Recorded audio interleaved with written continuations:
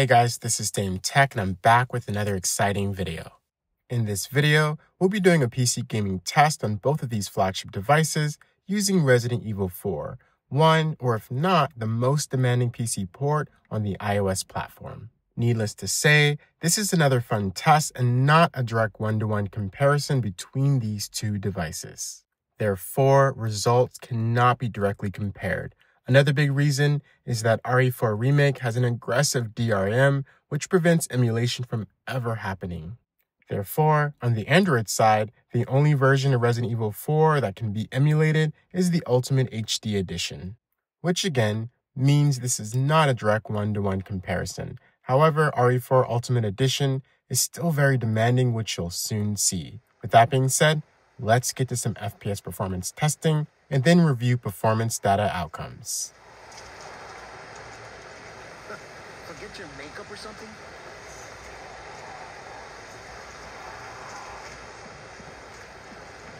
How far could he have gone?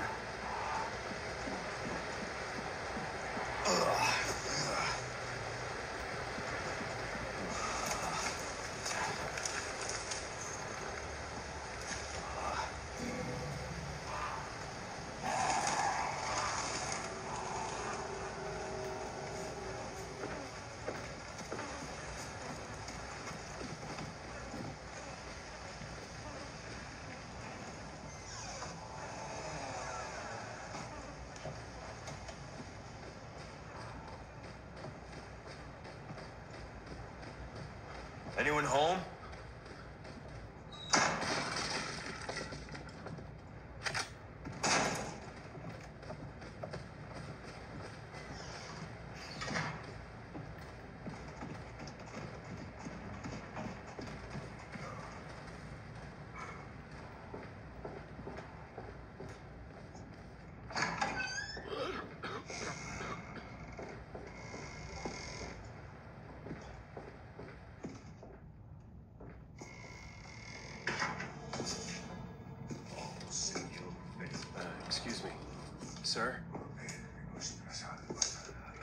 Sorry to barge in like this.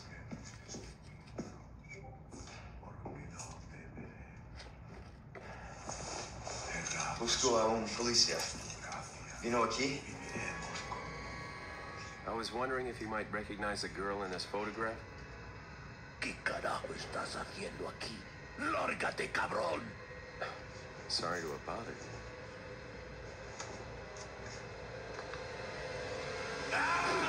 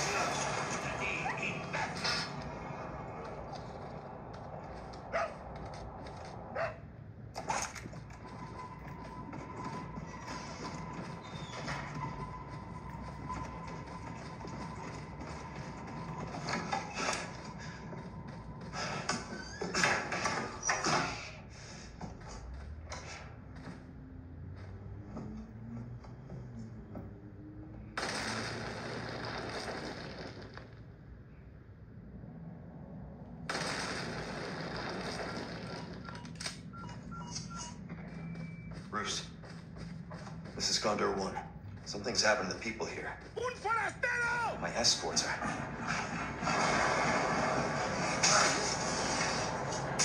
Gotta go. Talk later.